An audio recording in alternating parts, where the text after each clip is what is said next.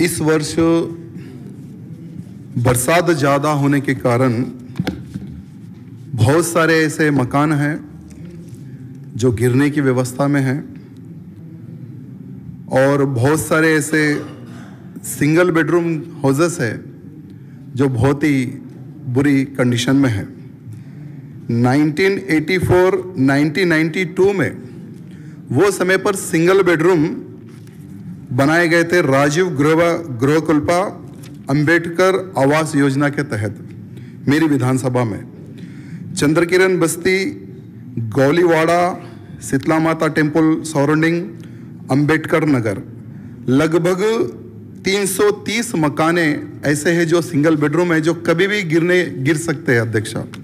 तो आपके माध्यम से हमारे म्यूनसिपल मिनिस्टर जी को मैं आज ये रिक्वेस्ट करना चाहूँगा कि तुरंत आप एक टीम को इन मकानों के सर्वे के लिए आप भेजें, निरीक्षण के लिए भेजें कि कितने ऐसे मकान हैं जो कभी भी गिर सकते हैं, क्योंकि बहुत सारे ऐसे गरीब परिवार हैं। अगर मकान गिरेंगे तो जान माल का नुकसान हो सकता है। अध्यक्षा, ये मैं आपसे निवेदन करना चाहूँगा हमारे म्यूनसिपल मिनिस्टर से। साथ ही साथ अध्यक्षा, एक मिनट अध्यक्षा, आप हर एक को समय देते तो मुझे भी एक तीस सेकंड का ज़्यादा समय देना चाहिए नहीं, नहीं, जो राजस्थान का इशू है ऑलरेडी व्यक्ति अरेस्ट है please, please, उसकी please. मिनट नहीं नहीं आप- देखो जब आप अगले को बोलने का समय दे रहे अध्यक्षा तो हमें भी बोलना देना चाहिए ना నేను ప్లీజ్ మినిస్టర్ గారు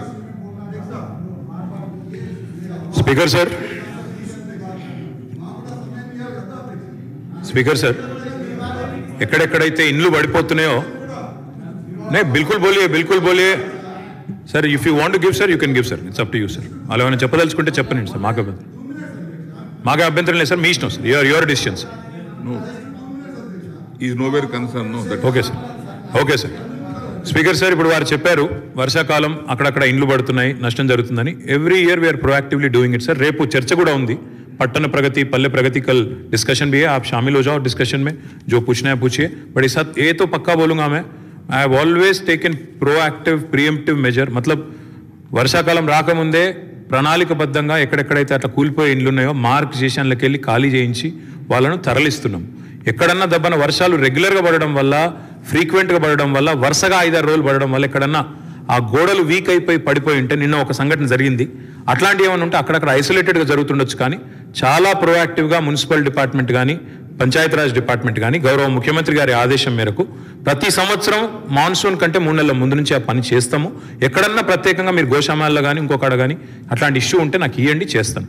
ఇక రెండో ఇష్యూ మీరు చెప్పేది I leave it to speaker sir's description. Thank you sir. Jaggareddy garu Jaggareddy garu. ఆ బయట బయట జగ్గారెడ్డి గారు. అధ్యక్ష నేను రాష్ట్ర ముఖ్యమంత్రి గారికి కేటీఆర్కి ఒకసారి జ్ఞాపకం చేపిస్తున్న ప్రభుత్వానికి మీ ద్వారా. ఈ హైదరాబాద్లో ఉన్న జర్నలిస్టుల